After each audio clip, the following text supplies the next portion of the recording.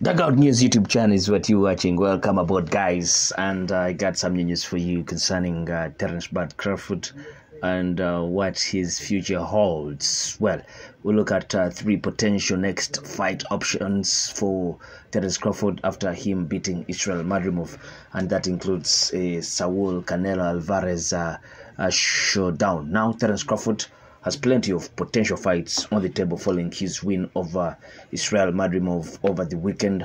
Bud defeated Madrimov via a unanimous decision to snatch the WBA super welterweight title from the Uzbek and uh, become a four-weight world champion after previous reigns at uh, lightweight, super lightweight, and uh, welterweight. Madrimov was competitive throughout, but in the end, all three judges scored the fight in Crawford's favor with scorecards of 116, 112, 115, 113, and 115, 113. Now, the American will plan out his uh, next uh, steps with his advisors as several boxes uh, queue up for the money fight. Now, uh, we as uh, Dugout News YouTube channel, with the help of uh, uh, various other media websites, we do dig deep to try and understand who among all the other guys will be Terence Bud Crawford's uh, next uh, opponent. Number one on the list is uh, Saul Canelo Alvarez, and it is no secret that His Excellency Turki Al Sheikh wants to make Canelo Alvarez versus uh, Crawford next. He was even talking about hours before Crawford uh, stepped into the ring with uh, Madrimov. As I told ESPN before, I gave him uh, Canelo the offer if he is smart, he will accept it. Uh, Turki Al Sheikh told the Sun. Of course, Canelo will have to get through his clash with Edgar Berlanga on September 14th first, and if he does, then His Excellency Al Sheikh will be pushing for the Crawford uh, uh, super fight. It remains unclear what uh, weight uh, they will fight at, with Canelo currently operating at super middleweight. However, it is more than uh, likely that Crawford will have to move up at uh, at least one division to make that fight uh, happen. That uh, can be at a catch weight. Maybe Crawford goes to middleweight or slightly just over middleweight and about there, about there, about there. 160 something, not 168, maybe there because that is the feeling I have uh, had uh, for quite some time that uh, eventually it will have to happen at a catch weight, not actually 168. So Saul Canelo Alvarez is top of the list as the guy that Crawford might face next. Vergil Ortiz is the other guy. If Canelo rejects the fight, then Turki Al Sheikh insists Vergil Ortiz will be uh, the next man to receive a call. But if uh, he doesn't, I want Ortiz here. If they accept, uh, they want to see this fight, he added.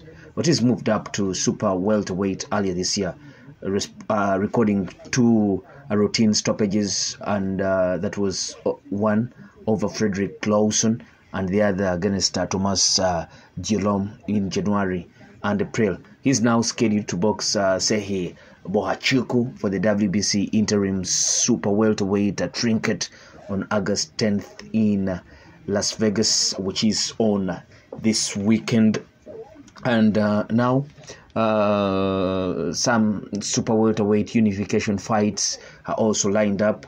Crawford became the first male two-weight undisputed champion of the four-belt era when he blasted out Errol Spence in July last year to collect all the belts at uh, welterweight after previously doing the same at super lightweight with a knockout win over Julius Indongo in uh, 2017. Now he has the opportunity to pick up another piece of history by becoming uh, the first three weight undisputed champion of the four belt era by chasing unification fights at uh, super welterweight. WBO and uh, WBC champion Sebastian Fundora seems to be the most likely of the two other title holders as Crawford picked up uh, the WBO interim super welterweight trinket alongside uh, his uh, full WBA strap on Saturday night. As a result, the WBO could order Fundora to defend his world title against Crawford next. However, Fundora is currently in talks to box uh, Errol Spence, The Truth, and so many. And uh, in that case, uh, Fundora might vacate uh, uh, that belt to pursue a fight with Errol Spence. IBF uh, champion Bakhram Murtazaliev is the other potential unification clash. Not so many are interested in that, but it's one that can help uh, Crawford unify that belt and uh, uh, line up uh, yeah, to fight uh, anyone that will have the remaining two belts. If he gets that belt that Fundora does vacate, and maybe Crawford does put his belt on the line with a fight against the IBF champion Bakhram Murtazaliev, then maybe he will have the three belts and uh, Fundora will be remaining with only one belt, that is the WBC belt. And uh, the win of maybe Fundora and Errol Spence does get a chance to fight uh, Crawford if he goes through. Uh, the other champion Mutaliev and uh, uh, if he goes through there, then Crawford will have the three belts, uh, the WBO, uh, the WBA, and uh, the IBF. And uh, one belt will be left with uh, the win of Fundora and Errol Spence. Then maybe if Errol Spence does go through, we get a chance for a rematch that we had all hoped for at 154 eventually happening. Errol Spence possessing that one belt, the WBC, Crawford possessing the other belt. So uh, those are all uh, fights to look out for. and uh, uh, uh, Bakhram Murtazaliev uh, did beat up on uh, Jack uh, for the vacant red and gold strap in April.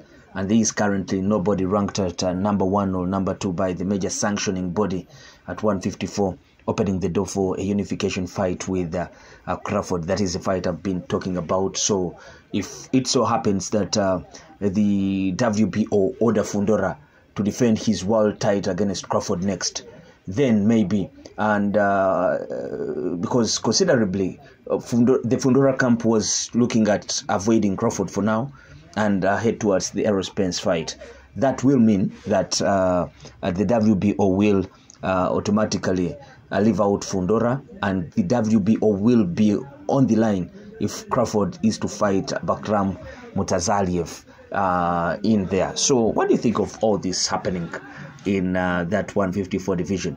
But who do you think will be Terence Crawford's next opponent? But don't forget, this one guy we are forgetting, and that guy is Jerome Boots Ennis. This guy uh, is promoted by Matchroom now, and Matchroom is so much uh, in connection with uh, Turki Al Sheikh or the Saudis, and uh, this is uh, bringing us to a point of uh, maybe eventually Bruce getting his chance uh, to have a go at uh, Terence Bud Crawford. He's been chasing this. Uh, he's been chasing a Crawford fight, but in the shadows. Uh, he seemed like he loves it uh, because of the people putting some similarities of their fighting style between him and Crawford. But he seemed not to have that mettle to, to, to, to go on and fight Crawford. Him and his dad seem not to favor a fight between uh, Bud and, uh, and uh, Boots. But uh, the money is there, and uh, for these boxers, if the money is right, always uh, they're willing to, to, to go in that squared circle, lose or win. But their bank is happy, the bank accounts are happy. What do you think? And who do you think will be Bud Crawford's next opponent? I sign out, but don't forget to place your comment in the comment section below and subscribe if you yet to subscribe. I sign out. Peace.